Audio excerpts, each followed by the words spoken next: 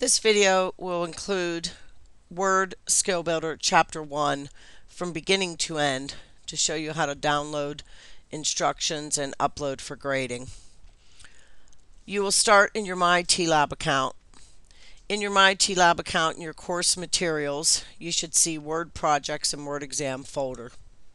You want to click on it, it's a link, and then you want to click on the link IT 1010 Word Chapter 1 Skill Builder and when you do all of your projects, the first thing you want to do is download files. Um, notice right here in the instructions, the first there's instructions down here below. It says for MyITLab download and open the file name skills Word 1 Grader A2. To get to that file, you must click on download files. So that's the first thing I do every time I do a project. Before we open that file, let's talk about the files that are in here. The first one is your instructions. You can click on this green drop down. I'm in the Google Chrome browser, so when I click on that, it's very nice. My file goes into my downloads folder and I can click on it here to open it. So you can open your instructions and enable editing. And you can print those and look at them. That's what I've done. Or you can snap them over here to the right part of your screen or left if you're a lefty and you can follow the instructions on the screen. I'm going to close those because I don't need them. The second file is that starter file that it tells us to open. The third file here is called Word Chapter 1 Skill Builder Final Results. Well, let's take a look at that. This comes with every one of your projects and it's very nice when it comes to your exams. Your skill builders, you get three attempts to get as many points as you can, up to 50. Your exams are 100 points, but you only get one submission. So it's nice to use this final results file. Comes with all of the grader projects, including the exam. When you look at it, it shows you exactly what the file should look like when you're finished. So this is what we're going to produce here in Word Chapter 1 Skill Builder. I'm going to close it. The next file happens to be a file that we will need later. We're going to copy information from this file and paste it to our letter for the second page. You may also see images here, .jpegs. Anytime you see those, I usually download, the, download these first before I open my start file. That way I know it's in my downloads folder when I need it and I don't have to come back to the screen. So the next thing we're going to do is open our start file, just second green arrow. This one I'm going to open, so I'm going to click here and open.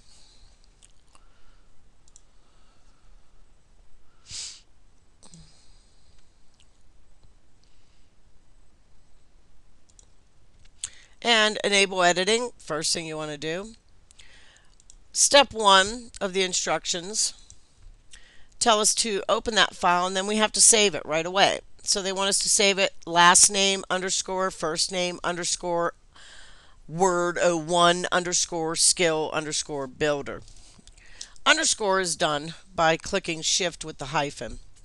So I'm going to go back to my file and I'm going to click file save as double click on computer and I want to go to the desktop. The desktop is where I put my IT 1010 folder.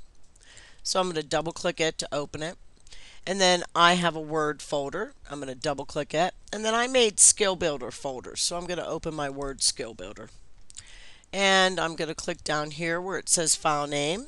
I'm going to type last name. You type your last name. Underscore first name. You type your first name. WRD01 underscore skill underscore builder. And we've typed the file name and navigated and saved it to our 1010 Word subfolder. We are finished with step one and we're going to step two. Step two would like us to add the file name field to the footer of the document. Now, file name field means you don't type the file name. There are actually fields in the Microsoft Office software. Go back to the file, go right to the top here and double click. That gets you to your header. Notice you've got header footer tools up here in green and we're on the design tab. There is an icon near the center here. Go to footer. Now I'm in my footer. I want to click on document info and click on file name. And it automatically inserts the file name that I gave the document. Scroll to the top of your document, double click beneath the dotted line where it says header, and we're out of our header footer. Moving along, we have finished step two. Step three would like us to go to the end of the date line, press enter twice to give us two blank lines, and we're going to type the inside address. The inside address is the address to whom the letter is to. So I want to go after my date line, hit enter twice, and begin to type Ms. Aileen Jefferson, enter, 7281, East, just a capital E, no period, space, Baldwin, space, capital DR, no period for drive, Aspen Falls, California, and the zip code 93463 we are finished entering our inside address. Step 4 would like us to go back to the top of the document and we're going to apply the no spacing style to our letterhead and to our inside address. So our letterhead is up here. It wants us to select the first three lines. Your letterhead is to is who the letter is from, usually a business name or it could be your name and address but we don't want it spread out in between each line. So we go to our Home tab, Styles group, and click on No Spacing, and it moved everything up nice and neat. We're going to do the same thing to our inside address. All you have to do is select the first two lines and click on No Spacing. And we have made our no spacing style.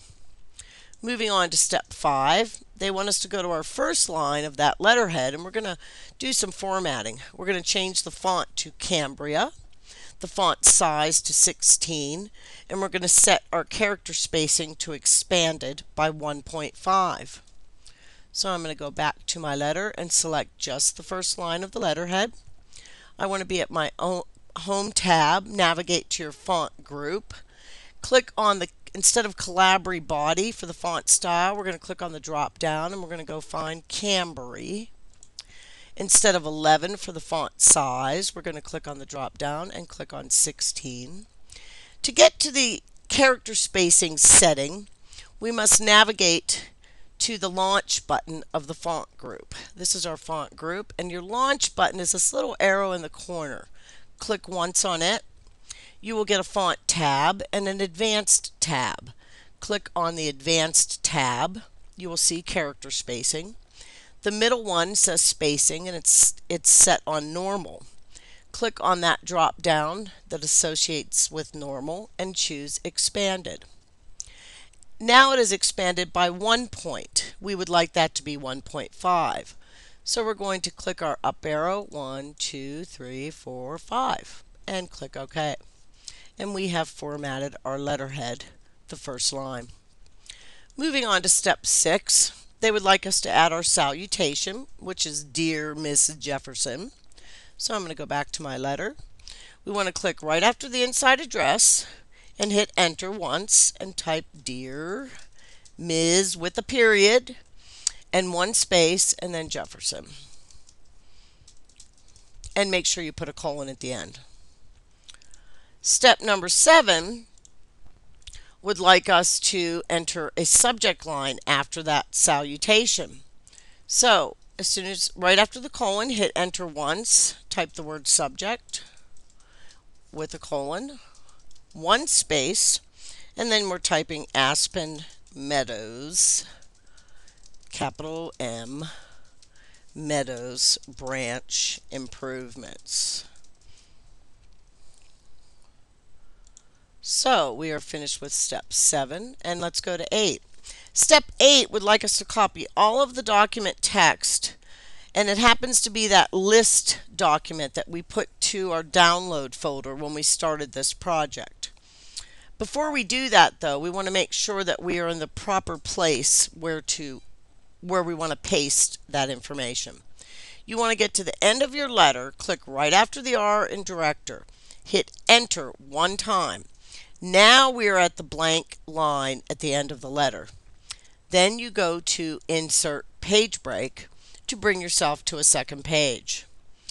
We want to go to the Windows Explorer folder right here on our taskbar and I'm going to downloads because I know that's where I downloaded that file and notice the one that has list at the end let's open it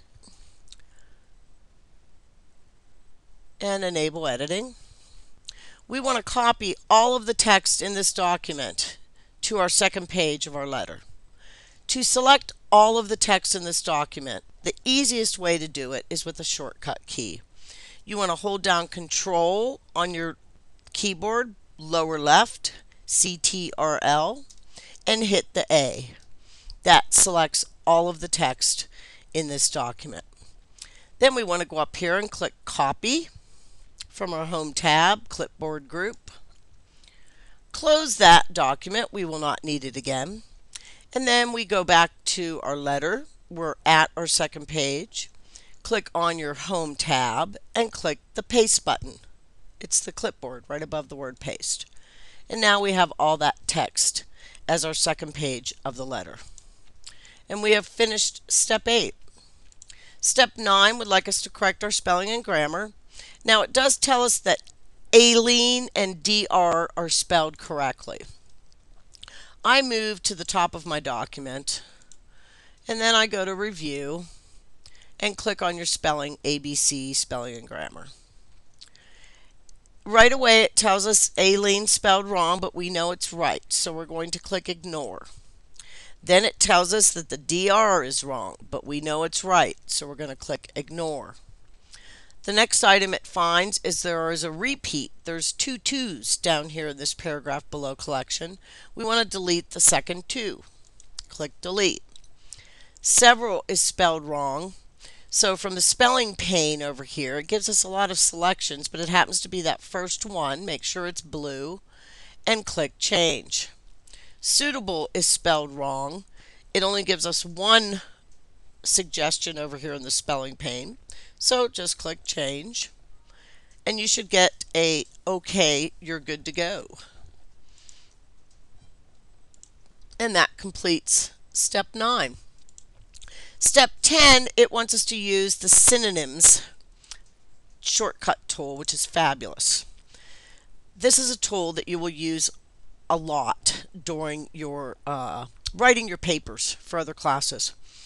Uh, it'll widen your vocabulary. You want to double click on the word era in the collection paragraph right here.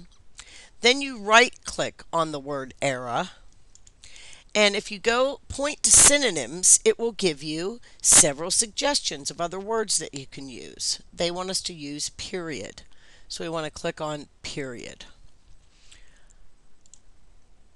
And that is step number 10. Moving along to number 11. Number 11 would like us to move or use cut and paste. And we're moving faster checkout subheading. We want to make it come before research stations. So I'm going to go back to my letter. I'm going to select faster checkout with the paragraph that goes with it. I'm going to go to navigate to my home tab and I'm going to click the scissors for cut. Notice that section went away. It is up here on this clipboard waiting for us to paste it. But we must place our cursor where we want it to paste. So I'm going to click right before the R in Research Stations and then click that big clipboard. And there you have it. I've got it moved above research stations. And that finishes step 11. Step 12 is another great shortcut tool they want us to use, and it's called the Format Painter. Notice on the second page, the first section, collection, is different from the other three section headings. We want to make these three section headings, children's collection, faster checkout, and research stations, we want to make them just like the word collection.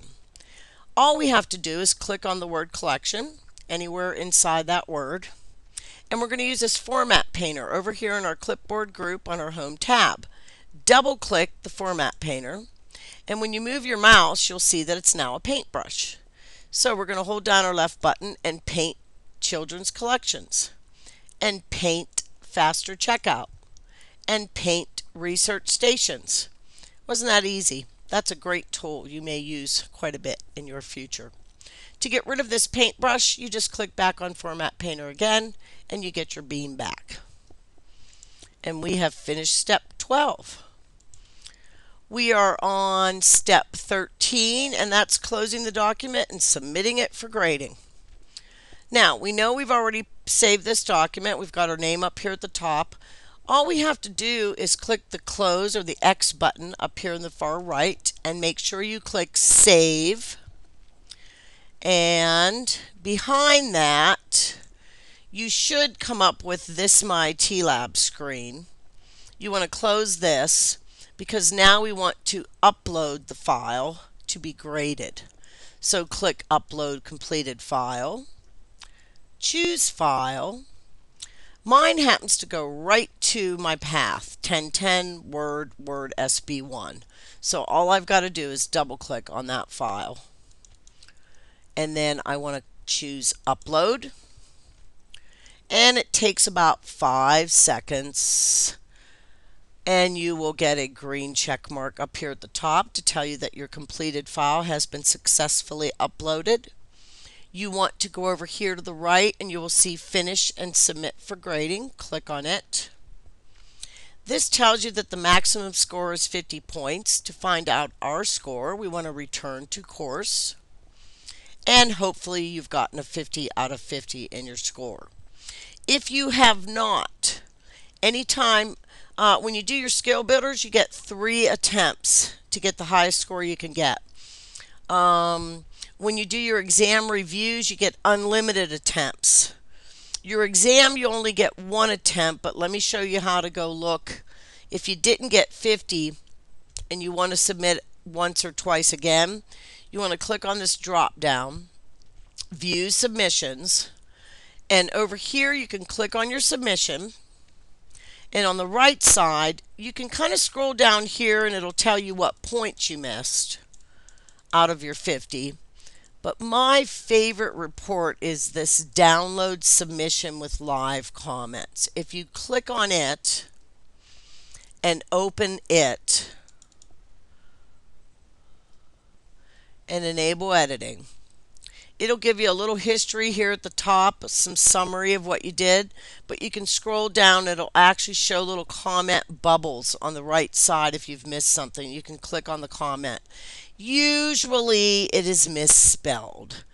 If you've misspelled a word, it will not recognize it. So it would say, does not see Aspen Falls Public Library if you spelled something wrong. And you'll see a little uh, bubble over here. If you don't see your bubbles, go to review and you can say show markup and make sure comments is checked so that you can see your checks or your balloons. Um, you cannot make the changes on this document. It's just a document to show you what you did wrong. So you'd have to close it, close this, close this, go back to your original file that you've got saved in your 1010 folder, and you would open it, make the corrections, close them, and save them and then you would go back just the way we started. Open it again and upload the completed file. And you can do that three times for your skill builders. And that's the end of Skill Builder 1. Thank you.